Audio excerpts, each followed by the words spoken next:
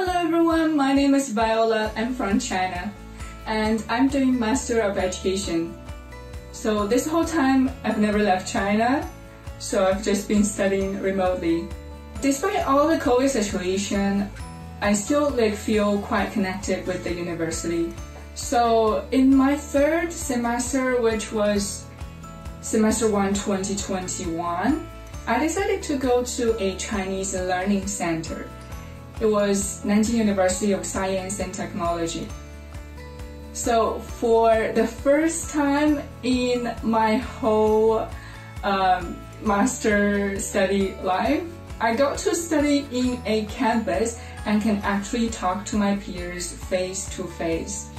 We even started like a little band there. I play the violin and sometimes we take our instruments and equipments to go to the playground and play music. Like we, we have a, mini music festival there people in the playground just come and sit with us in the grassland.